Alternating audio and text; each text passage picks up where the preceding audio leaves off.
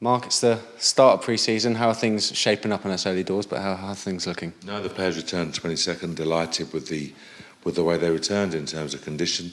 They clearly applied themselves well over the pre-season period or the, the off-season period, and um, their condition has allowed us to accelerate the program by a day or so. So delighted with their, com- their commitment, their work ethic, and uh, so far so good.